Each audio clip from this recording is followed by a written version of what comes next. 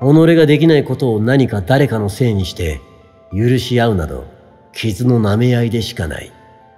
そんなものは求めてもいない。慣れ合いもいらない。シンプルに考えろ。できないには理由がある。だったらやれるとこまでやれ。徹底的にガクトはそれを言い続ける。今では僕の周りのスタッフは、どこの企業に勤めても十分通用する人材に育ってくれた。実業家にもなれるし、会社に勤めても確実に出世する。僕のそばから離れどんな現場に行っても、もちろん独立しても成功を収めている。